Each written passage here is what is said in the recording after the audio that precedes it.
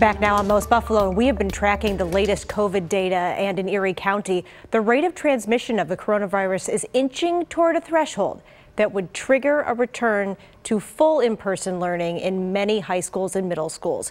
Channel 2's Jeff Preval has been tracking the data and has the latest. And not to get too technical, but what schools are really paying attention to, Erie County's rate of transmission of the virus on a per capita basis. A key CDC metric says 100 or more new COVID cases per 100,000 people means the rate of transmission is high.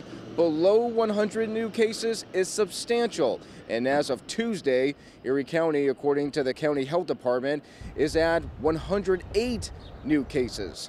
CDC guidance says Erie County is close to bringing back middle and high school students with at least three feet of physical distancing. I think the public might think that 100 is a magical number um, uh, that's based in science.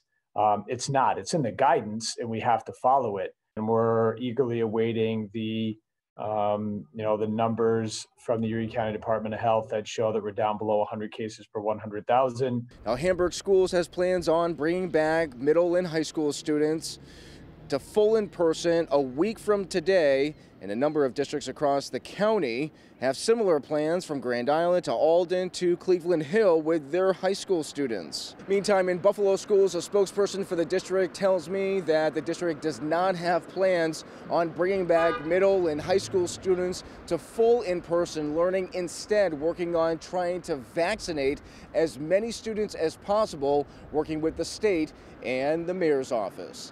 In Buffalo, I'm Jeff Preval, Channel 2 News.